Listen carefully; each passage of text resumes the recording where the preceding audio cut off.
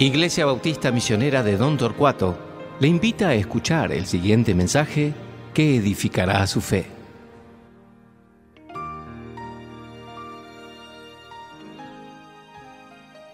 Buen día hermanos, muy felices Pascuas, o como prefiero decir, feliz día de la resurrección.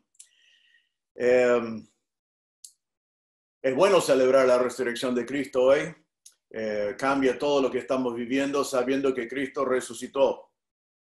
Realmente esto no es lo que como nos gustaría celebrar.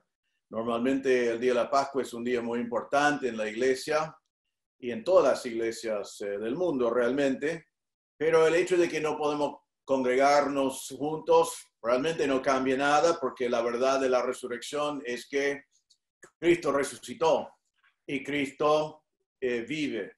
Y aunque no podemos reunirnos, su palabra está siendo predicado. Estaba pensando en lo que dijo Pablo cuando estaba en la cárcel en 2 Timoteo capítulo 2, versículo 10, dijo, o perdón, versículo 9, dice, en lo cual sufro penalidades hasta prisiones a modo de malhechor, mas la palabra de Dios no está presa. Entonces, aunque nosotros no podemos movernos libremente en este momento como nos gustaría, eh, la palabra de Dios no es preso, sino hay mucha evidencia de que Dios está utilizando su palabra hoy en día entre nosotros, eh, salvando a personas y obrando en nuestras vidas también. Así que le damos gracias a Dios por eso. Estoy grabando esto el viernes. Eh, y cuando estaba preparando este mensaje, estaba mirando y vi que en el mundo hasta ahora con este virus han muerto 95 mil personas. En Argentina, cuando estoy grabando, más de 70 personas han muerto. Y entonces vivimos en un tiempo cuando hay gente pensando en la vida y la muerte. Algunos tienen miedo. Eh, algunos ven la enfermedad y la muerte y saben que no tienen idea de lo que le va a pasar después de esta vida entonces, eh, eh, eh, están preocupados. Entonces es un excelente día de recordar que Cristo resucitó, venció la muerte, quitó el temor. Siempre me encanta lo que dice Hebreos 2, 14 y 15. Dice, así que por cuanto los hijos participaron de carne y sangre, él también participó de lo mismo para destruir por medio de la muerte al que tenía el imperio de la muerte, esto es al diablo, y librar a todos los que por el temor de la muerte estaban durante la, toda la vida sujetos a servidumbre. Cristo venció la muerte, también venció el temor de la muerte. Así que en este día de la resurrección debemos celebrar la resurrección de Cristo. En el texto que vamos a ver hoy, vamos a ver que como Cristo resucitó, eso también garantiza que nosotros resucitaremos si es que estamos en Cristo. El gran predicador Spurgeon dijo que la resurrección de Cristo es la piedra principal de la doctrina cristiana. Todo lo que creemos gira alrededor de la resurrección de nuestro Salvador, el hecho de que Él vive. Hoy veremos que no hay ningún evento en la historia del mundo tan seguro como la resurrección de Cristo. Y porque Cristo resucitó, nosotros también resucitaremos. Vamos a abrir nuestras Biblias a 1 de Corintios capítulo 15 y vamos a leer comenzando en versículo 1. 1 Corintios 15 tiene 58 versículos y no vamos a verlos todos, aunque sería bueno, es un pasaje increíble y les animo a ver el resto después de lo que nuestro tiempo limitado nos permite. Pero vamos a leer 1 Corintios 15 comenzando en versículo 1. Esto es el apóstol Pablo hablando y dice así. Además os declaro, hermanos, el evangelio que os he predicado, el cual también recibisteis, en el cual también perseveráis, por el cual asimismo, si retenéis la palabra que os he predicado, sois salvos, si no creísteis en vano. Porque primeramente os he enseñado lo que asimismo recibí, que Cristo murió por nuestros pecados, conforme a las escrituras, y que fue sepultado y que resucitó al tercer día conforme a las escrituras. Y que apareció a Cefas y después a los doce. Después apareció a más de 500 hermanos a la vez, de los cuales muchos viven aún y otros ya duermen. Después apareció a Jacobo, después a todos los apóstoles. Y al último de todos, como un abortivo, me apareció a mí. Porque yo soy el más pequeño de los apóstoles, que no soy digno de ser llamado apóstol porque perseguía la iglesia de Dios. Pero por la gracia de Dios, de Dios soy lo que soy. Y su gracia no ha sido en vano para conmigo. Antes he trabajado más que todos ellos, pero no yo, sino la gracia de Dios conmigo. Porque o sea yo o sea en ellos, así predicamos y así habéis creído. Pero si se predica de Cristo que resucitó de los muertos, ¿cómo dicen algunos entre vosotros que no hay resurrección de los muertos? Porque si no hay resurrección de muertos, tampoco Cristo resucitó. Y si Cristo no resucitó, vana es entonces nuestra predicación, vana es también vuestra fe. Y somos hallados falsos testigos de Dios porque hemos testificado de Dios que Él resucitó a Cristo, al cual no resucitó si en verdad los muertos no resucitan. Porque si los muertos no resucitan, tampoco Cristo resucitó. Y si Cristo no resucitó, vuestra fe es vana, aún estáis en vuestros pecados. Entonces también los que durmieron en Cristo perecieron. Si en esta vida solamente esperamos en Cristo, somos los más dignos de conmiseración de todos los hombres. Mas ahora Cristo ha resucitado de los muertos. Primicias de los que durmieron es hecho. Porque por, por cuanto la muerte entró por un hombre, también por un hombre la resurrección de los muertos. Porque así como en Adán todos mueran, también en Cristo todos serán vivificados pero cada uno en su debido orden. Cristo, las primicias, luego los que son de Cristo en su venida. Vamos a, leer hasta allí eh, eh, por el momento. Vamos a ver hoy en este pasaje que Cristo resucitó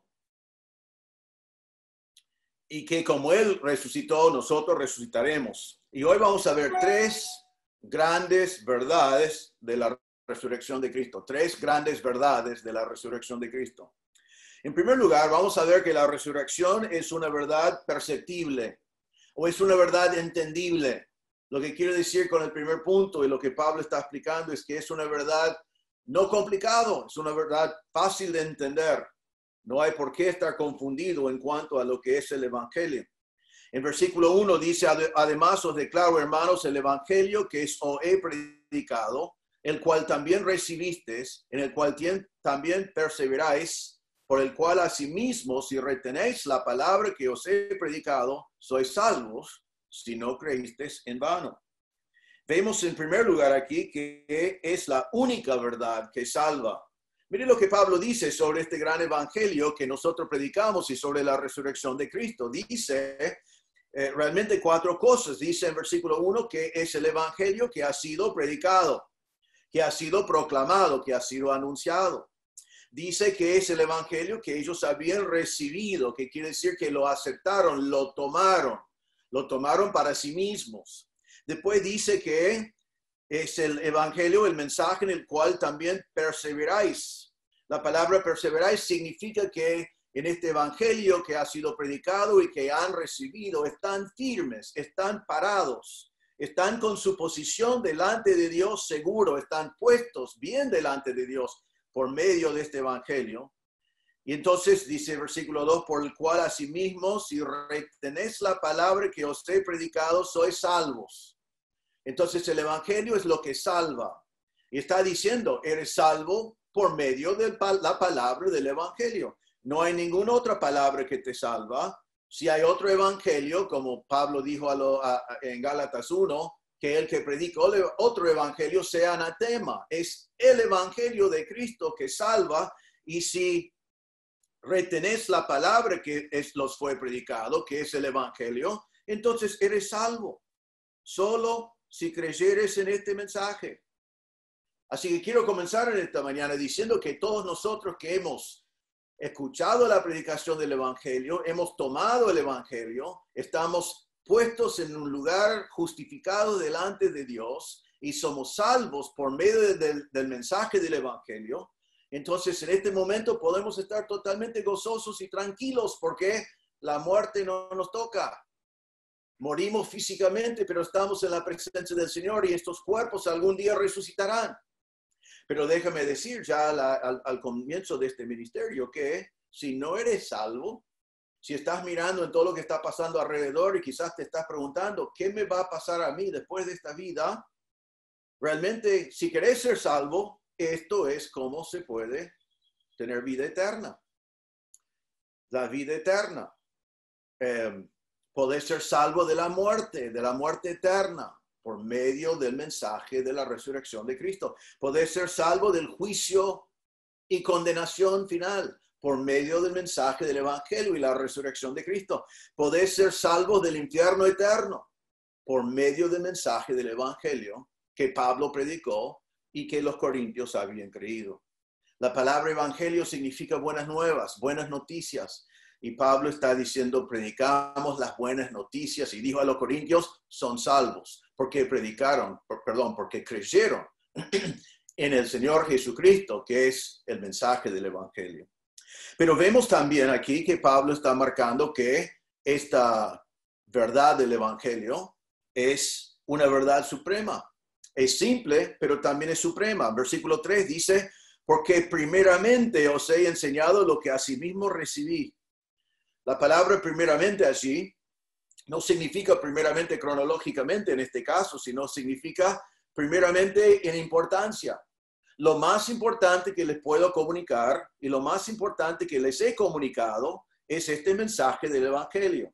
Es supremo, es número uno, es sobre todas las otras cosas es el corazón del Evangelio. Y él dice, porque primeramente, en primer lugar, sobre todo, os he enseñado lo que asimismo recibí. La palabra enseñar allí no es la palabra normal para enseñar, sino más bien es una palabra que significa les he entregado lo que también recibí. Pablo está diciendo, alguien me predicó a mí el Evangelio, primero yo aprendí, yo recibí el mensaje de que Cristo murió por mis pecados y resucitó, y ahora lo, entrego lo entregué a ustedes. Eh, eh, Pablo dice, de acuerdo con las escrituras, que Pablo ya en este momento de su vida podía decir que había entendido el Evangelio desde el Antiguo Testamento en profecías. Quizás podemos mencionar a Isaías 53 como un buen ejemplo, pero está diciendo que de acuerdo con las escrituras recibí el Evangelio y después lo entregué. Sabemos que Pablo también podía decir que él escuchaba el Evangelio de Jesús mismo, porque Jesús en el camino a Damasco le habló personalmente y él se dio cuenta y lo vio vivo y se dio cuenta que el Jesús que él sabía que había muerto estaba con vida. Así que Pablo dice, en primer lugar, lo más importante, le comunico el mensaje más importante, el que yo recibí, ahora lo entrego a ustedes como algo de gran valor y realmente fue la vida entera de Pablo. No había más, nada más importante en la vida de Pablo que comunicar este mensaje que él había recibido. En 1 Timoteo 2, 5 a 7, él, él, Pablo dijo, porque hay un solo Dios y un solo mediador entre Dios y los hombres, Jesucristo hombre, el cual se dio a sí mismo en rescate por todos de lo cual se dio testimonio a su debido tiempo. Para esto yo fui constituido predicador y apóstol, digo verdad en Cristo, no miento, y maestro de los gentiles en fe y en verdad. Entonces él dice, yo estoy predicando, el Señor me puso como predicador y apóstol porque hay un solo mediador entre Dios y los hombres, no hay más que uno, no hay varios. Y el mensaje más grande que yo tengo para predicar es que Jesús dio a sí mismo para rescatar a nosotros y que ese Jesús resucitó. No hay verdad más importante, es la verdad suprema. Pero vemos en esta, este primer punto de que el Evangelio es una verdad totalmente entendible, vemos que es sencillo, es una verdad muy sencilla, no es complicada. Realmente entender mentalmente el Evangelio no requiere un doctorado no requiere estudios, eh, realmente ni, requiere saber eh, leer o escribir, no requiere dinero, no requiere ritos religiosos, no requiere obras. Realmente en, en, versículos 3 y 4, Pablo resume el mensaje del Evangelio que te puede salvar en cuatro verbos, en cuatro verbos. Eh, y vamos a verlos. Dice en versículo 3, porque primeramente os he enseñado lo que asimismo recibí, que Cristo murió, primer verbo, por nuestros pecados, conforme a las escrituras, que fue sepultado, segundo verbo, y que resucitó, tercer verbo, en versículo 5, y que apareció, cuarto verbo que él utiliza para explicar este mensaje tan sencillo. Ahora vamos a mirarlo rápidamente y lo que quiero que observen es que, que lo entendemos lo que es, pero también que vemos que es sencillo, no es complicado. Nadie puede decir, no puedo comprender lo que esto está diciendo. En primer lugar, dice, Cristo murió por nuestros pecados conforme a las escrituras. Cristo murió, pero no solamente murió, sino murió por una razón. Él tenía un propósito en morir en la cruz. Él no murió en la cruz porque los judíos fueron poderosos. Él no murió en la cruz porque los romanos eran poderosos. Él no murió en la cruz porque no podía escapar. Él no murió en la cruz porque fue un accidente, sino aquí dice exactamente por qué Él murió en la cruz. Él murió en la cruz por nuestros pecados. Él murió en la cruz por tus pecados. Él murió en la cruz porque tú eres pecador y yo soy pecador y no tenemos solución para nuestros pecados. Y la paga del pecado es la muerte. Alguien tiene que morir por nuestros pecados. Entonces Cristo murió por nuestros pecados. Esa palabra por es una preposición que es la palabra uper en griego y significa por causa de otro o en lugar de otro o a favor de otro. Cristo murió por nosotros, a favor de nosotros, en lugar de, en lugar de nosotros. Nosotros debemos haber muerto, pero Él murió por nosotros. Isaías 53, 6. Todos nosotros nos descarriamos como ovejas, cada cual se apartó por su camino, mas Jehová cargó en Jesús, en Él, el pecado de todos nosotros. Él no, murió por su propio pecado, porque Él no pecó. Si yo muero, muero por mi pecado, pero Jesús no murió por sus propios pecados, sino Él murió por mis pecados y por tus pecados, en mi lugar y en tu lugar, una vez para siempre. Cristo murió por nuestros pecados conforme a las escrituras. Primer verbo, el primer, eh, la primera verdad que tenemos que entender en cuanto al Evangelio. Soy un pecador y necesitaba que alguien muriera por mí, por si no, porque si no yo tengo que morir eternamente.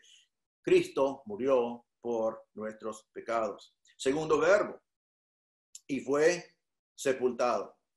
Ahora, ¿por qué no dice que fue sepultado? ¿Es necesario? ¿Fue sepultado para entender el Evangelio? Realmente no. ¿Pero por qué dice eso? Porque está simplemente probando que murió. Murió conforme las escrituras y fue sepultado. ¿Por qué? Porque ¿A quiénes sepultamos? Sepultamos a personas que han muerto. Vamos a mirar eso un poquito más, más adelante, pero simplemente dice eso para que sea confirmado que él fue muerto porque fue sepultado. Tercer verbo, versículo 4, y que resucitó al tercer día conforme a las escrituras. Otra vez, marca que eso es algo que confirma lo que las escrituras había dicho. Jesús mismo había dicho que iba a morir y que iba a resucitar. Entonces ahora dice que Él resucitó. Es el corazón del Evangelio. Es conforme a las escrituras. Y Pablo está estableciendo aquí en este capítulo, que es muy importante entender esto, que no hay duda, que Jesús resucitó. Resucitó el tercer día de acuerdo conforme a las escrituras. Él vive. La gran diferencia en este día es que eh, eh, eh, entre todo lo que son considerados religiones del mundo. Cada religión tiene su líder y muchas veces hay tumbas donde están los cuerpos o donde fueron puestos los cuerpos de los líderes. Mahoma está en su tumba, la gente va a visitar la tumba. Buda murió y estaba puesto en una tumba. Cada líder del mundo murió y quedó muerto. Pero nosotros celebramos hoy el, corazón de nuestro evangelio eso es que nuestro Salvador murió también, pero murió por nuestros pecados y él resucitó. Y todos nosotros que vamos a Israel y visitamos Israel, eh, vamos allí, vemos que hay una tumba vacía.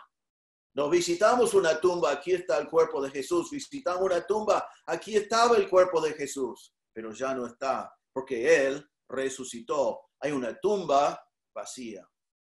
Y el cuarto verbo, que tampoco dice conforme a las escrituras, simplemente es esto, y que apareció. y otra vez, igual como fue sepultado, apareció es para decir, la verdad del Evangelio es que Cristo murió por nuestros pecados y resucitó para darnos vida. ¿Cómo probamos que murió? Fue sepultado. ¿Cómo probamos que resucitó? Apareció. Apareció. Que la palabra significa que fue visto. Lo vieron resucitado. Hay testigos oculares que vieron a Jesús. Entonces murió conforme a las escrituras, fue sepultado, resucitó el tercer día conforme a las escrituras y apareció delante de más de 500 personas. Ahora vamos a hablar de todo eso un momento, pero quiero cerrar este primer punto porque es, es fundamental. Esto es una verdad entendible. Es un mensaje sencillo. Es tan sencillo que todos nosotros que conocemos a Cristo podemos predicarlo a cualquier persona del mundo. No tenemos que tener estudios, no tenemos que tener títulos, no tenemos que tener doctorados, no tenemos que tener nada de eso. El Evangelio es sencillo y poderoso. Cristo murió por nuestros pecados, fue sepultado, resucitó para darnos vida y fue visto por más de 500 testigos. Ahora, si no conoces a Cristo como Salvador hoy, probablemente tratas de complicar esto. Pensás, bueno, pero ¿qué más tengo que hacer? ¿O qué hago yo porque debo hacer algo por mis pecados? No puede ser que esto viene gratis o gratuito o por gracia que el Señor me da. Mire, si fuera complicado, vos y yo no lo podemos lograr. Si hacía falta un montón de dinero para pagar nuestros pecados, vos y yo no podemos lograrlo. Es sencillo es, es, increíble, es profundo, es poderoso, pero es sencillo. Tú eres un pecador. Cristo murió por tus pecados. ¿Por cuántos de tus pecados? 100%. Absolutamente cada pecado tuyo, pasado, presente y futuro. Él murió por todos esos pecados porque la paga del pecado es la muerte. Pero hoy celebramos la resurrección de Cristo. Él resucitó. Y por eso cuando crees en Cristo como tu Salvador, Él te da vida eterna, vida nueva. Y cuando salís de este cuerpo, estarás en la presencia del Señor y algún día este cuerpo será resucitado también en gloria. Entonces, si estás mirando este mensaje hoy y no conoces a Cristo como tu Salvador, aquí está. No podía ser más sencillo. Tienes que reconocer que eres un pecador, que Cristo murió por ti, que Cristo resucitó de los muertos y poner tu fe en la obra de Cristo en la cruz y en su resurrección, y Él te salvará. Igual como los corintios, escucharon el mensaje, tomaron el mensaje, creyeron el mensaje, fueron establecidos como creyentes firmes delante de Dios, fueron salvos. ¿Por medio de qué? La obra de Cristo en la cruz y su resurrección. Lo puedes entender pero es importante que crees en tu corazón, que crees en el Señor. Pablo dijo en Romanos 19, si confesares con tu boca que Jesús es el Señor y creyeres en tu corazón que Dios le levantó de los muertos, serás salvo. Así que hermanos, que ya somos salvos, debemos gloriarnos en esta verdad, en esta mañana. Y debemos predicar este mensaje sencillo a todos los que están alrededor nuestro. Y si estás mirando y no conoces a Cristo como Salvador, cree en Él. El Evangelio es fácil de entender. Humillate delante de Él. Con, confesar que eres pecador. Confiar en la obra de Cristo en la cruz. Número dos, la segunda verdad. La segunda verdad es que la resurrección es una verdad indudable. Es una verdad indudable. En el libro de los Hechos, capítulo 1, casi comienza el libro diciendo esto dice hablando de Jesús, que después de haber padecido, se presentó vivo con muchas pruebas indubitables, apareciéndoseles durante 40 días y hablándoles acerca del reino de Dios. Allí comienza el libro hablando de quién es este Jesús y dando la historia de la iglesia y diciendo que se presentó vivo con muchas pruebas indubitables, apareciendo delante de muchas personas sobre un tiempo de 40 días. Voy a tomar un tiempo, y Pablo lo hace aquí también, para mostrar las pruebas que el Señor nos da de que la resurrección es verdad. Realmente no hay verdad en el mundo que demuestra mejor que tiene más evidencia de que fuera la verdad. Pero comenzamos con el primer punto del Evangelio, que Cristo murió. Cristo murió por nuestros pecados. Ahora, la palabra de Dios es muy claro que eso es un hecho. En Juan 19, versículo 33, dice, mas cuando llegaron a Jesús, los soldados romanos, como le vieron ya muerto, muerto, no le quebraron las piernas. Hay algunos que quieren decir, bueno, está bien que Cristo vivió después, pero es porque no murió. Bueno, ya hemos visto que murió y fue sepultado. Pero tenemos que tener mucha fe para creer que Jesús no murió. Porque los soldados romanos que hacían eso todos los días, en Juan 19, 33, llegaron a Jesús y vieron que ya estaba muerto. En Juan capítulo 19, versículo 34, dice, pero uno de los soldados le abrió el costado con una lanza y al instante salió sangre y agua. El soldado, sabiendo que estaba muerto, pero haciendo lo que quizás hacía normalmente, eh, eh, eh, puso su espada allí y salió sangre y agua, que según los médicos y los científicos significa que Jesús había sufrido una ruptura de corazón. Esa descripción es una manera de comunicar médicamente que Jesús estaba muerto. Nos dice en Marcos capítulo 15, versículo 43 en adelante, dice José de Arimatea, miembro noble del concilio, que también esperaba el reino de Dios, vino, entró osadamente a Pilato y pidió el cuerpo de Jesús. Pilato se sorprendió de que ya hubiese muerto y haciendo venir al centurión le preguntó si ya estaba muerto. Informado por el centurión, dio el cuerpo a José. Entonces vemos ahora que el centurión dio su palabra, su credencial que Jesús había muerto. Y después sigue acá, dice, dice que siendo informado así, eh, le dio el cuerpo a José, el cual compró una sábana y quitándolo lo envolvió en la sábana y lo puso en un sepulcro que estaba cavado en una peña e hizo rodar una piedra a la entrada del sepulcro. Entonces, no solamente aquí fue confirmado por el centurión, sino que José tomó el cuerpo y lo preparó y lo sepultó. Esto no estamos hablando con todas estas cosas, los soldados, la espada, el agua y sangre, el centurión, Pilato mismo, y, la preparación para la tumba, y le pusieron en la tumba. No estamos hablando de una persona que se había desmayado, sino era una persona que murió. No se entierran a vivos, se entierran a personas muertas. En este caso, muchas personas presentes dieron su credencial, estaba en juego sus vidas, que este hombre había muerto. Nos dice en Juan 19, 38 y 39, después de todo esto, José de Arimatea, que era discípulo de Jesús, pero secretamente por medio de los judíos, rogó a Pilato que le permitiese llevarse el cuerpo de Jesús, y Pilato se lo concedió. Entonces vino y se llevó el cuerpo de Jesús. También Nicodemo, el que antes había visitado a Jesús de noche, vino trayendo un compuesto de mirra y de aloes como 100 libras. Entonces, otra vez, vemos la preparación del cuerpo de Jesús. Jesús murió. La Biblia lo dice. Y la evidencia es abundante, indudable, que Jesús murió. Pero vemos acá también que dice que Cristo resucitó conforme a las escrituras. Y ahora Pablo va a, marcar porque recuerden que Pablo está escribiendo porque algunos corintios están diciendo que los creyentes no resucitan. Y Pablo les está enseñando que si Cristo resucitó, entonces los creyentes resucitan. Entonces, él quiere mostrar con toda claridad la verdad que él está predicando, que Cristo resucitó. Entonces, otra vez, en versículo 3, perdón, 4, que resucitó el tercer día conforme a las escrituras. La palabra resucitar, eh, primero debemos observar que es un verbo perfecto.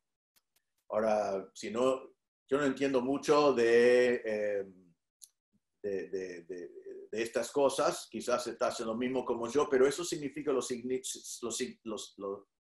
siguiente. Significa que cuando dice que Cristo resucitó, está diciendo que resucitó, ha resucitado y es resucitado.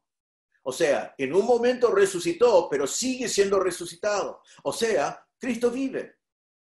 Es un hecho histórico que resucitó, pero es algo que continúa, sigue resucitado. Cristo fue visto porque siguió siendo resucitado. Fue visto por 40 días porque fue resucitado. Fue visto por Pablo después cuando Jesús ya había ascendido porque sigue siendo resucitado. O sea, nuestro Señor vive, resucitó y vive hoy.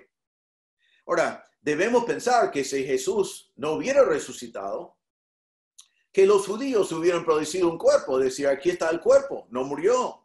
O los soldados romanos que eran responsables por guardar la tumba hubieran dicho, no, no, es un error, aquí está el cuerpo. Pero no pasó nada de eso. Si Cristo no hubiera resucitado, entonces es imposible explicar cómo los discípulos que fueron cobardes, inconversos, llegaron a ser creyentes con denuedo y al final mártires. ¿Cómo se puede explicar que personas que dudan siempre no creyeron y que eran cobardes y huyeron cuando detuvieron a Jesús y se encerraron en, en un aposento alto porque tenían miedo? Después de ver a Cristo resucitado, son transformados y terminan siendo mártires. ¿Cómo podemos explicar eso si Cristo no resucitó?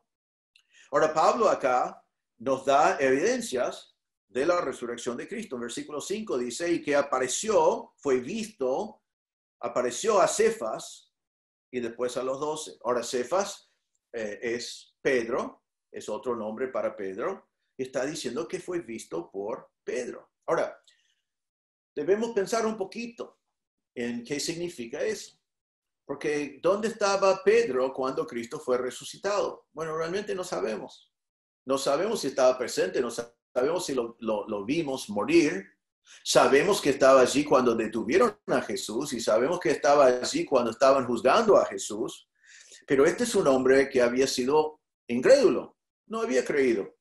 Recuerden en Mateo 16, 21 y 22 de Pedro de Cefas, dice esto. Desde entonces comenzó Jesús a declarar a sus discípulos que le era necesario ir a Jerusalén y padecer mucho de los ancianos, de los principales sacerdotes y de los escribas, y ser muerto y resucitar el tercer día. Entonces Pedro, tomándolo aparte, comenzó a reconvenirle. En otro pasaje dice que le reprendió, diciendo, Señor, tengo compasión de ti, en ninguna manera esto te acontezca. O sea, Pedro rechazaba la muerte y resurrección de Cristo cuando Cristo lo dijo proféticamente. Cuando Cristo dijo lo que iba a pasar, Pedro lo negaba y dijo, no, eso no va a pasar, que vas a hablar una cosa así. Así que Pedro no estaba esperando una resurrección, no lo había entendido, no lo había creído. Esto es Pedro que cuando Jesús estaba siendo juzgado, él, él negó al Señor. Él no creyó y, negó. Eh, nos dice en la palabra de Dios que él estaba allí mirando de lejos y, que le dijeron, vos estabas con Jesús, vos también estabas con él. En Mateo 26 nos explica toda la historia. Y él dijo, no, no estaba con él, no lo conozco. Lo negó tres veces. Entonces aquí eh, eh, Pablo nos dice que Pedro, que había rechazado la posibilidad de la muerte y resurrección de Cristo, que estaba esperando el reino, el reino en gloria de Jesús, pero no la muerte y resurrección. Pedro que había huido que era cobarde, que había negado a Cristo. Y ahora dice que apareció a Pedro. Y la vida de Pedro fue transformado. ¿Qué cambió la vida de Pedro? Ahora había visto a Jesús resucitado. Dice que apareció a los doce. Los doce también están marcados por, por su temor, su miedo. Eran cobardes, no habían creído. En Juan 20, versículo 19, dice, cuando llegó la noche de aquel mismo día, el primero de la semana, estando las puertas cerradas en el lugar donde los discípulos estaban reunidos por miedo de los judíos, vino Jesús y puesto en medio les dijo, pasa a vosotros. ¿Dónde estaban los discípulos? ¿Fueron a la tumba? No. ¿Estaban allí esperando diciendo, hoy va a resucitar el Señor? No, estaban encerrados porque tenían miedo. Pero ahora Cristo viene, Cristo entra allí, está en medio de ellos y dice, paz a vosotros. Ahora recuerden que la primera vez que él estaba con ellos faltaba uno, que fue Tomás. Y vemos que más adelante en el mismo capítulo Jesús volvió porque Tomás cuando le dijeron dijo esto, si no lo veo con mis ojos, si no veo los agujeros en sus manos y no veo la marca de la espada, no creo.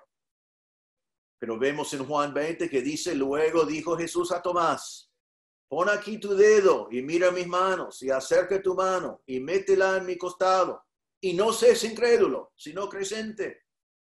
Entonces Tomás respondió y le dijo, Señor mío y Dios mío.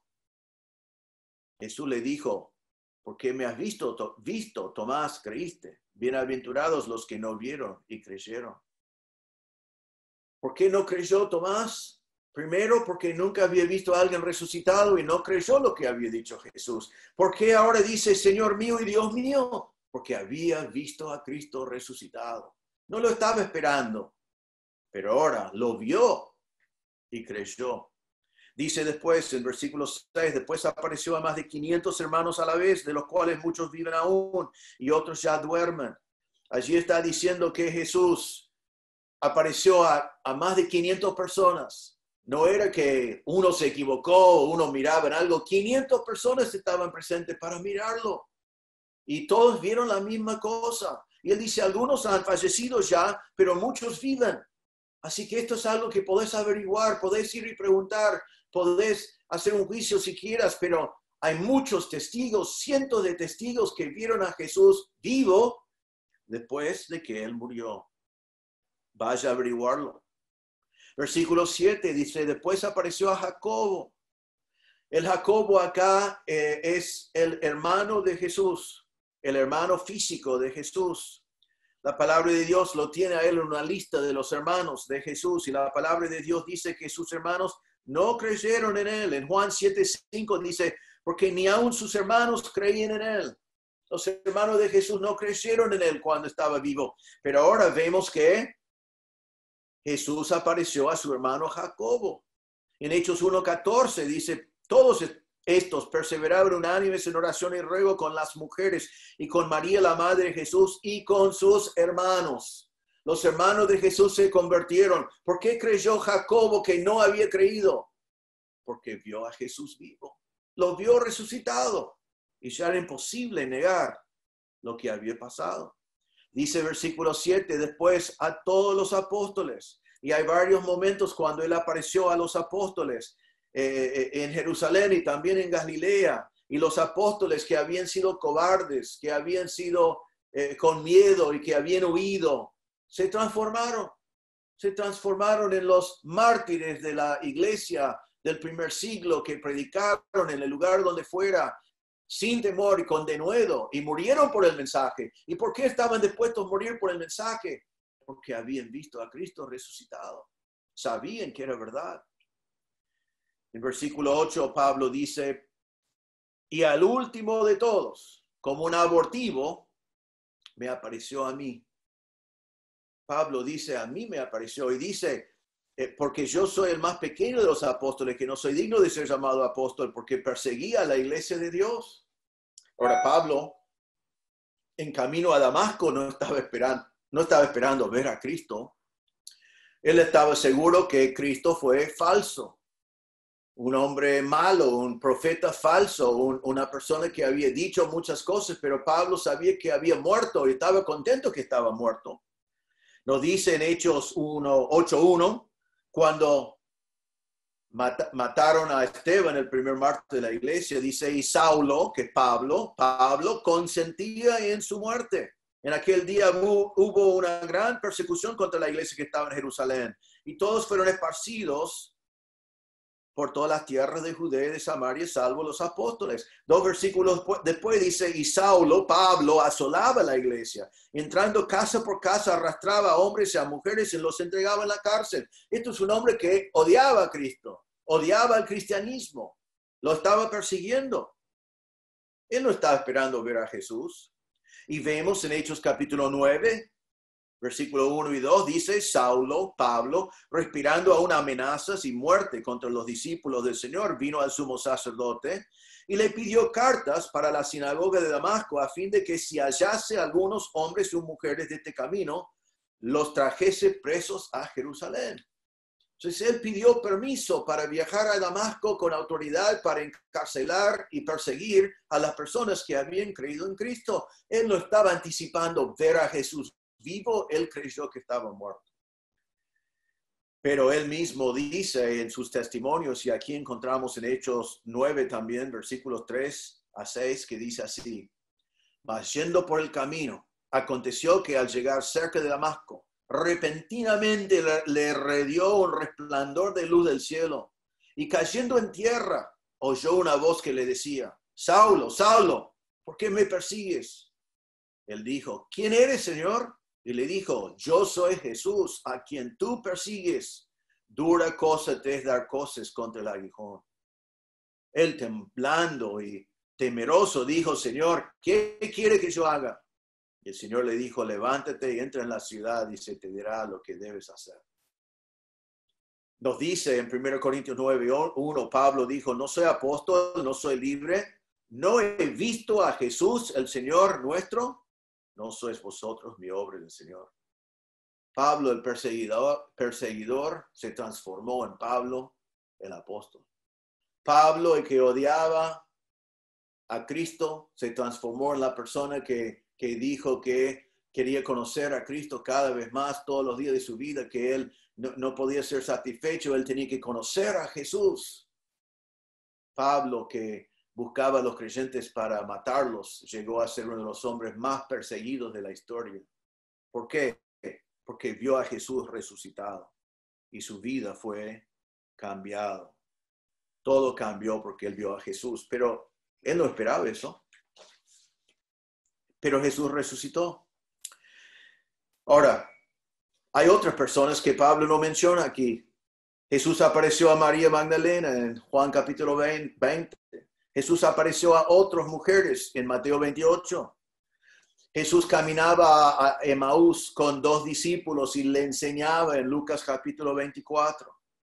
Y como hemos mencionado en Hechos 1.3, dice que Jesús apareció a la gente sobre un tiempo de 40 días hasta que él llevó a sus discípulos con él afuera de las puertas, los muros de Jerusalén y ascendió para estar con sus padres, con su, con su padre.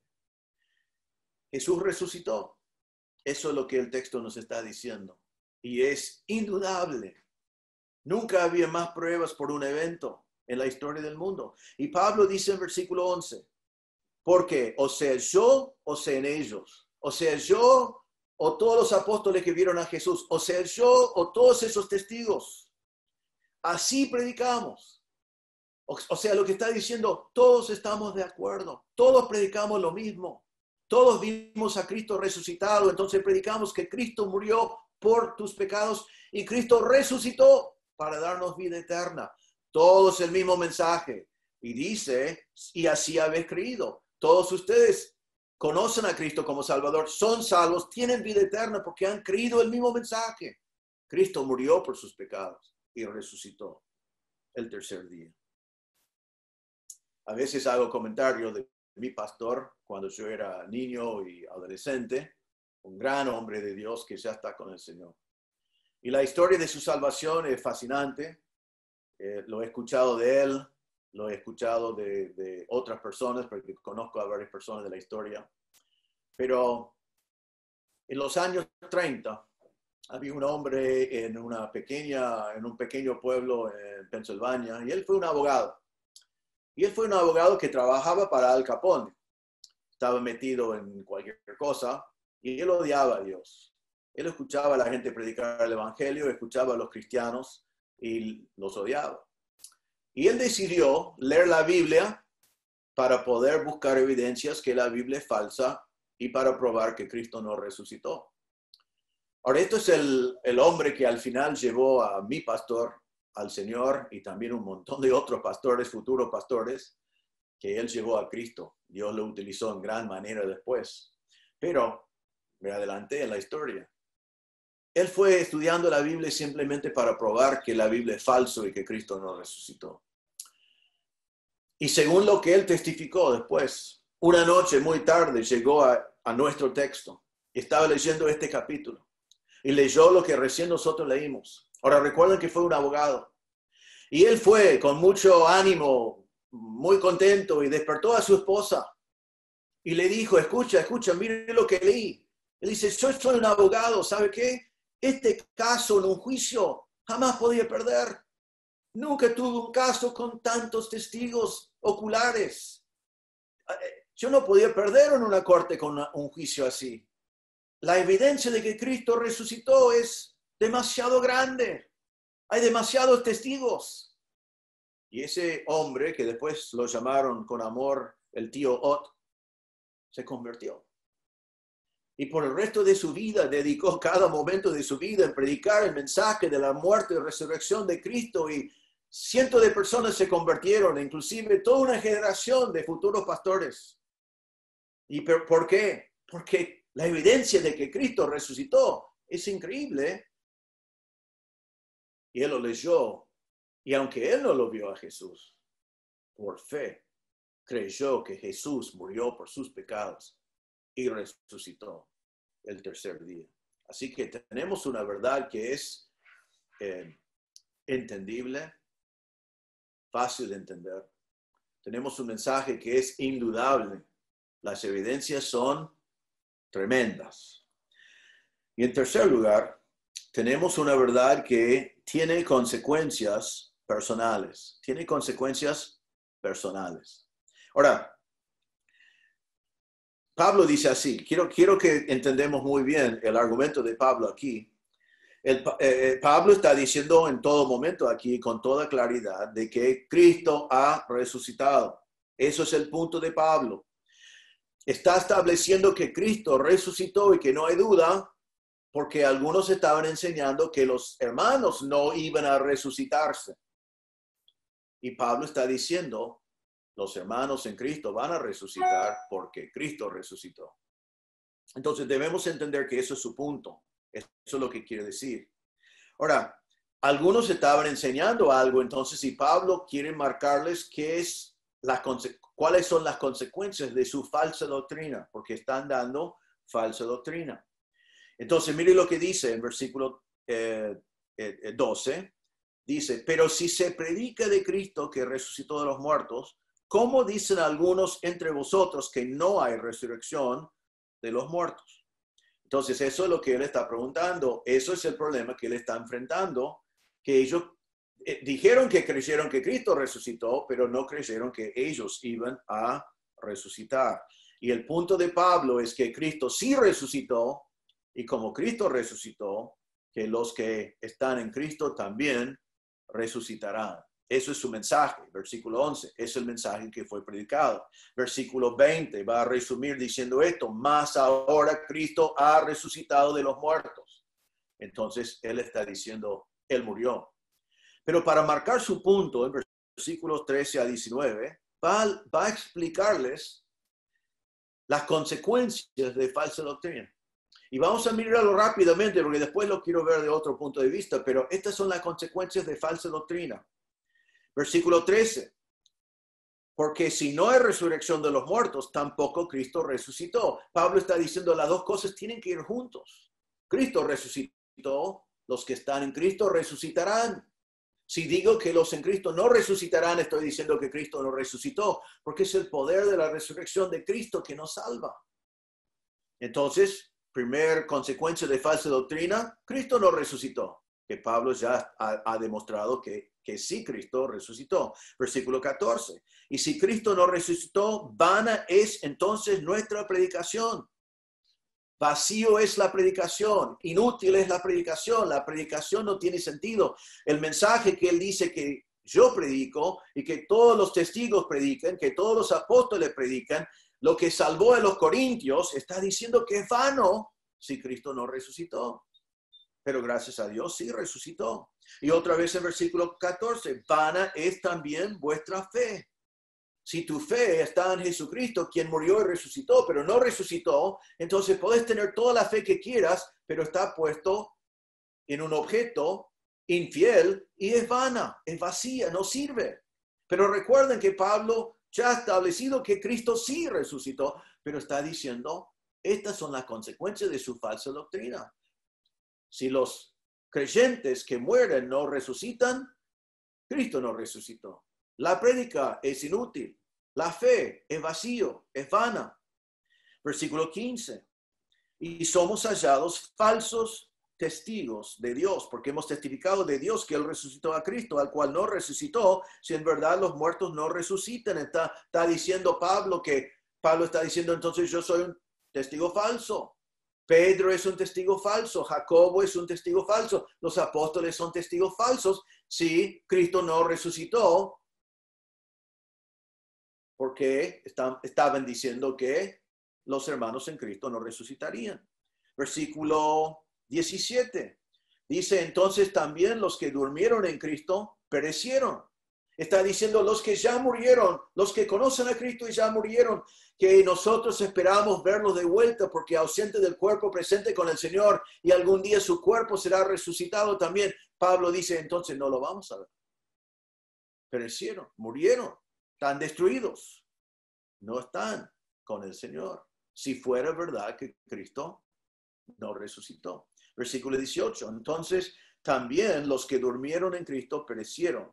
Versículo 19, si en esta vida solamente esperamos en Cristo, somos lo más dignos de conmiseración de todos los hombres. Así está diciendo que si mi esperanza en Cristo es solamente para vivir una mejor vida aquí en la tierra, y recuerden que ellos muchas veces vivieron bajo persecución, pero no tenemos esperanza de la vida eterna, entonces somos dignos de conmiseración, somos patéticos, lo que significa la palabra. Somos lamentables. Qué triste. La gente debe tener lástima de nosotros. Si nosotros vivimos bajo persecución hoy no tenemos la esperanza segura de la vida eterna después de esta vida. Ahora, todo ese argumento negativo es que Pablo les hace entender las consecuencias de su falsa doctrina que él ya ha marcado con pruebas indudables que Cristo sí resucitó. Entonces, lo que yo quiero hacer con este pasaje por unos momentos es ver las implicaciones aquí de lo que dice Pablo, de la realidad de que sí Cristo resucitó, porque eso es el punto principal aquí de Pablo. Cristo resucitó. Y si Cristo resucitó, entonces en el argumento de Pablo vemos por aplicación unos principios muy importantes para nosotros. En primer lugar, por ejemplo, versículo 14 otra vez. Como Cristo resucitó, entonces nuestra predicación no es vana. Nuestra predicación no es vana. Romanos 1.16 dice, porque no me avergüenzo del Evangelio, porque es poder de Dios para salvación a todo aquel que cree. El Evangelio no es vana, no es vacío, no es inútil, sino es poderoso y salva, cambia vidas y nosotros debemos predicarlo, porque no es vana, porque Cristo resucitó. Segunda Timoteo 4.2 dice que prediques la palabra, que instes a tiempo y fuera de tiempo. Redarguye, reprende, exhorta con toda paciencia y doctrina. Predicamos la palabra, porque Cristo resucitó y nuestra prédica no es vana. Así que, hermano, no solamente debes estar contento hoy en este día de la resurrección de que Cristo resucitó, sino debes estar pensando en predicar el mensaje de la resurrección, porque es poderoso. Me encanta 1 Tesalonicenses 1.5, Pablo dice a ellos, pues nuestro evangelio no llegó a vosotros en palabras solamente, sino también en poder, en el Espíritu Santo, en plena certidumbre, como bien sabéis cuáles fuimos entre vosotros por amor de vosotros. El mensaje del Evangelio es poderoso, acompañado por el poder del Espíritu Santo y certidumbre y transforma vidas. Así que hermanos, Cristo resucitó nuestra prédica no es vana, entonces predicamos, proclamamos el mensaje.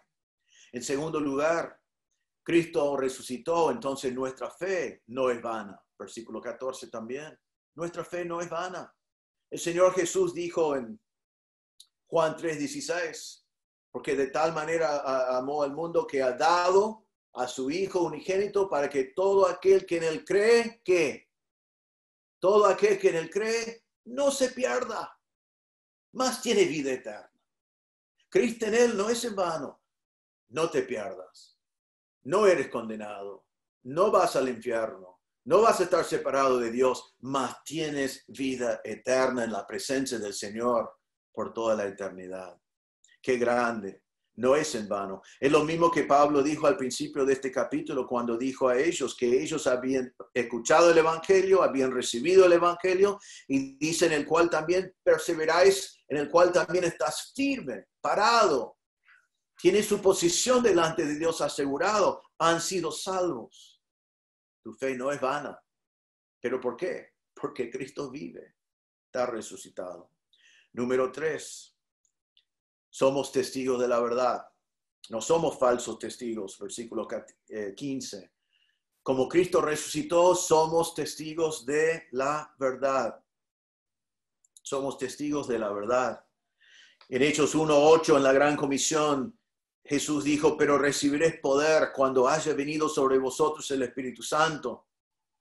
Y me seréis testigos en Jerusalén, en toda Judea, en Samaria y hasta lo último de la tierra. Nosotros somos testigos y hermanos, cuando somos testigos del Evangelio, somos testigos fieles. Podemos predicar con denuedo, con seguridad, porque nuestro mensaje es la verdad. Hechos 4:12 dice, en ningún otro hay salvación, porque no hay otro nombre bajo el cielo dado a los hombres en que podamos ser salvos. No hay otro evangelio. Cualquier predica otro evangelio, lo que Pablo predicó en este pasaje es anatema, es falso, pero nosotros predicamos el mensaje verdadero de la muerte y resurrección de Cristo. Cristo resucitó, así que nosotros somos testigos de la verdad y debemos ser testigos fieles y con denuedo, porque el mensaje es la verdad y es el único mensaje que salva. Versículo 17. Cristo resucitó, entonces nosotros ya no estamos en nuestro pecado. Nuestros pecados han sido perdonados. Nuestros pecados han sido vencidos. Más adelante en el capítulo 1 Corintios 15, versículos 56 y 57, dice así, ya que el aguijón de la muerte es el pecado y el poder del pecado la ley, más gracias sean dadas a Dios que nos da la victoria por medio de nuestro Señor Jesucristo. El Señor nos dio la victoria sobre el pecado por medio de Jesucristo. Ya podemos vivir vidas victoriosas. Podemos vivir vidas sabiendo que nuestro pecado es vencido y las consecuencias del pecado. Una vez más, Isaías 53, 6. Nosotros como ovejas descarriados, pero Jehová cargó en él el pecado de todos nosotros. Hermanos, ya no estamos más en nuestros pecados. No estamos más con la culpa del pecado, con la carga del pecado, con las consecuencias eternas del pecado. Y hoy en día, si bien somos pecadores todavía, podemos vivir vidas victoriosas porque Cristo pagó la cuenta por todos nuestros pecados. Y debo agregar aquí que cuando Cristo murió en la cruz, Él murió por todos los pecados. Si no conoces a Cristo, quieres agregar algo, si quieres hacer algo para que tengas perdón, no podés agregar nada. No hay nada que podés hacer tú para que tus pecados sean perdonados. Cristo ya hizo todo. Así que porque Cristo resucitó, ya no estamos más en nuestros pecados, tenemos victoria sobre el pecado. Ahora, versículo 18. Como Cristo resucitó, nuestros hermanos fallecidos en el Señor ya están en la presencia del Señor. Ahora, su cuerpo será resucitado más adelante y será glorificado, pero ahora mismo están en la presencia del Señor y su cuerpo será levantado. Nos dice en 1 Tesalonicenses 4, versículos 13 y 14, tampoco queremos, hermanos, que ignoréis acerca de los que duermen o los que han fallecido, para que no os entristezcáis como los otros que no tienen esperanza, porque si creemos que Jesús murió y resucitó, así también traerá Dios con Jesús a los que durmieron en él. Los que creen que Jesús murió y resucitó, ellos volverán con el Señor, sus cuerpos serán levantados.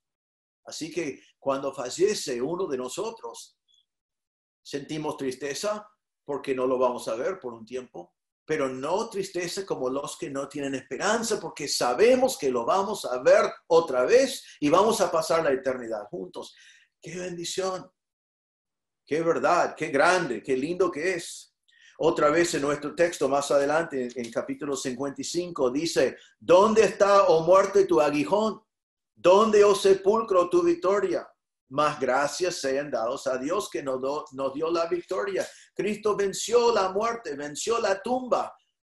Y nuestros hermanos que mueren en Cristo resucitarán. Hay uno más acá, creo. Dos más, versículo 19. Como nosotros esperamos en Cristo para la vida hoy y también esperamos en Cristo para la vida eterna, no necesitamos eh, eh, eh, la compasión del, mundo o que tengan lástima por nosotros. Nosotros realmente vivimos la mejor vida hoy y tenemos la eternidad asegurado por la muerte y resurrección de Cristo. Tenemos vida abundante hoy y vida eterna garantizado por la muerte y resurrección de Cristo. En Tito 2, 13 y 14 dice, aguardando la esperanza bienaventurada y la manifestación gloriosa de nuestro gran Dios y Salvador, Jesucristo, quien se dio a sí mismo por nosotros para redimirnos de toda iniquidad y purificar para sí un pueblo propio, celoso de buenas obras. Estamos esperando, aguardando la esperanza bienaventurada, la manifestación, manifestación gloriosa de nuestro Señor Jesucristo. Él viene y vamos a tener vida eterna con Él para siempre. Otra vez, al final, el último versículo de este capítulo, Pablo dice, así que hermanos míos amados, estad firmes y constantes, creciendo en la obra del Señor, siempre sabiendo que vuestro trabajo en el Señor no es en vano. Servimos al Señor hoy porque sabemos que hoy esperamos en el Señor y nos da vida abundante y esperamos en la, la venida gloriosa de nuestro Señor para después pasar la eternidad con Él. Qué grande. Porque Cristo resucitó, tenemos vida abundante y vida eterna. Ahora, versículo 20, entonces, que ya hemos visto, Pablo dice, más ahora Cristo ha resucitado de los muertos. Primicias de los que durmieron es hecho. Aquí quiero ver la resurrección y el hecho de Cristo es las primicias. Primero Pablo dice, más ahora. Allí, ese ahora no está hablando de eh, un momento en tiempo, sino la idea de la palabra es de hecho o de certeza o de verdad. Más de hecho, Cristo ha resucitado. O sea, todo lo que mencionó de falsa doctrina, para ilustrar, concluye diciendo, pero ninguna de estas cosas son así, porque de hecho Cristo ha resucitado. Ya lo he probado, ya he hablado de los testigos, ya hemos visto por qué murió y hemos visto que resucitó. Así que Cristo ha resucitado, resucitó, sigue resucitado, vive. Pero dice aquí también que Él es la primicias de los que durmieron en Él. Primicia significa uno entre varios. E, era la primera porción. Y cuando dice aquí que Él es primicia, se está diciendo que como Cristo resucitó, otros resucitarán. Simplemente es él, él es el primero. Ahora mire lo que dice sobre eso en versículo 21. Dice, porque por cuanto la muerte entró por un hombre, también por un hombre la, la resurrección de los muertos. Porque así como en Adán todos mueren, también en Cristo todos serán vivificados. Allí está marcando el plan de Dios y el sistema de Dios. Por un hombre entró la muerte, dice. ¿Quién fue ese hombre? Adán. Adán pecó. Y con el pecado de Adán, todos nosotros nacimos en pecado. Romanos 5:12, Pablo dijo, por tanto, como el pecado entró en el mundo por un hombre y por el pecado de la muerte, así la muerte pasó a todos los hombres por cuanto todos pecaron. Entonces nosotros somos todos descendientes de Adán y recibimos de Adán nuestra naturaleza pecaminosa y nosotros pecamos. Entonces por un hombre entró la muerte, pero las buenas noticias antes de eso, déjame agregar versículo 22, porque así como en Adán todos mueran, que por medio de un hombre también entró la muerte. No, Dios no nos creó para morir, nos creó para vivir para siempre, pero él había dicho a Adán en el día que comes del, fruto, el, primer, el día que, que pecas, morirás. Adán pecó, Adán murió, sus descendientes, nosotros, pecamos y morimos. Pero aquí encontramos las noticias fantásticas aquí que dice en versículo 21, porque por cuanto la muerte entró por un hombre, también por un hombre la resurrección de los muertos. ¿Quién es este segundo hombre? Es Jesús, Él resucitó. En Romanos 5:17 dice, pues si por la transgresión de uno, Adán, solo reinó la muerte, mucho más reinarán en vida por uno solo, Jesucristo, los que reciben la abundancia de la gracia y del don de la justicia. Por un hombre somos pecadores y por un hombre morimos y por un hombre podemos tener la resurrección. Él resucitó para que nosotros seamos resucitados. Y al final del versículo 22, también en Cristo todos serán vivificados. Es el que nos da vida. Pero mire lo que dice, también en Cristo todos serán vivificados. ¿Quiénes serán vivificados? Todos los que estamos en Cristo. Tenemos que estar en Cristo. Ahora vamos a explicar eso en un momento, pero miramos en el último versículo que vamos a ver hoy, que es el versículo 23. Dice, pero cada uno a su debido orden. Cristo, las primicias, luego los que son de Cristo en su venida. ¿Quién fue el primero que fue resucitado?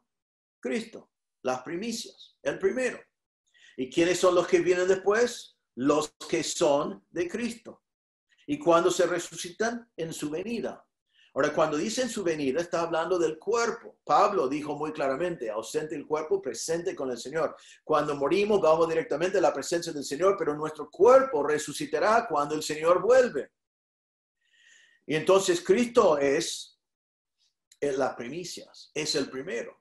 Pero como hay primicias, también hay muchos que vienen después. Y esos somos todos nosotros que estamos en Cristo. Otra vez en este capítulo, en versículo 51, Pablo dice así, He aquí os digo un misterio, no todos dormiremos, pero todos seremos transformados. En un momento, en un abrir y cerrar de ojos, a la final trompeta, porque se tocará la trompeta y los muertos serán resucitados, incorruptibles, y nosotros seremos transformados, porque es necesario que esto corruptible se vista de incorrupción y este mortal se vista de inmortalidad. Va a venir un momento así, cuando nosotros que hemos fallecido en el Señor, que hemos eh, eh, dormido en el Señor, como dice el texto, seremos resucitados, transformados, incorruptibles para pasar la eternidad con el Señor.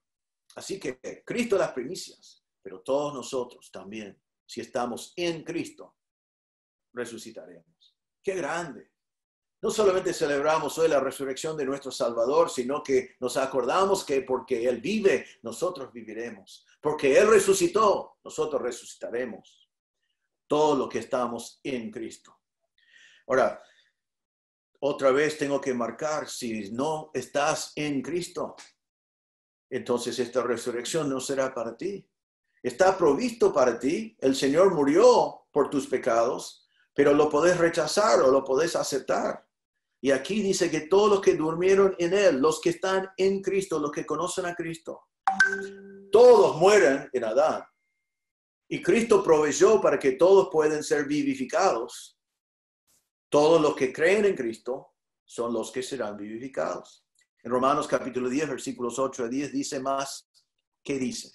Cerca de ti está la palabra, en tu boca, en tu corazón. Esta es la palabra de fe que predicamos. Está hablando de esta palabra que estamos hablando hoy. Y dice que si confesares con tu boca que Jesús es el Señor y creyeres en tu corazón que Dios le levantó de los muertos, serás salvo. Porque con el corazón se cree para justicia, pero con la boca se confiesa para salvación. Y otra vez quiero decirte, si nunca has confiado en Cristo como Salvador, hoy es el día. No hay mejor día que esto, como no lo hiciste ayer. Ponga tu fe en Cristo. Cristo murió por tus pecados. Cristo resucitó para vivificarte, para darte vida eterna. Podés ser parte de ese gran grupo que sigue las primicias que Jesús, que también se resucitará. Simplemente tener que reconocer que eres pecador, que necesitas que alguien muriera en tu lugar como hizo Cristo y confiar en la obra de la cruz y la resurrección de Cristo para tu salvación.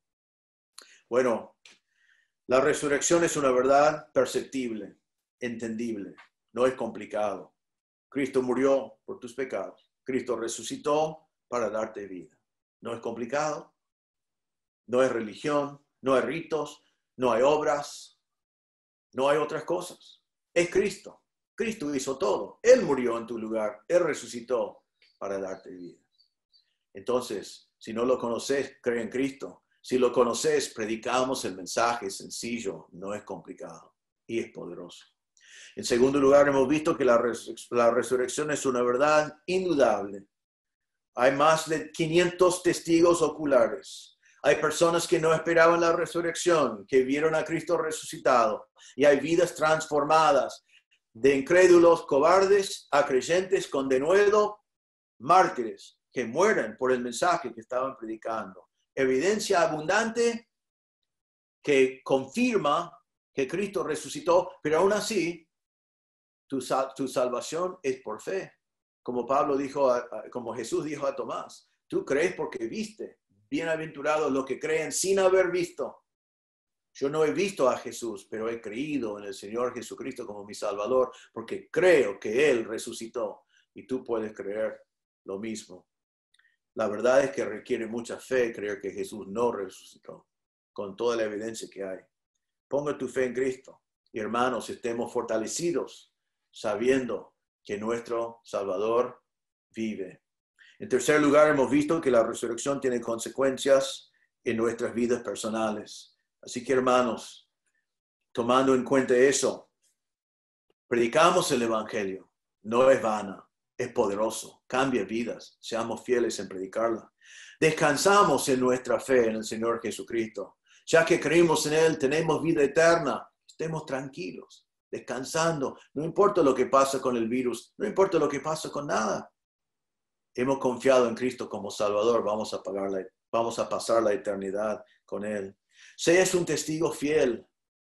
Predicad el Evangelio tal cual como la Biblia lo enseña. No vaya agregando cosas, no vaya cambiando cosas, no vaya haciéndolo más fácil como muchos hacen. Predicad el Evangelio y serás un testigo fiel. Date cuenta que tus pecados están vencidos. Vos y yo podemos vivir en victoria, porque Cristo venció la muerte, venció la muerte venció el pecado.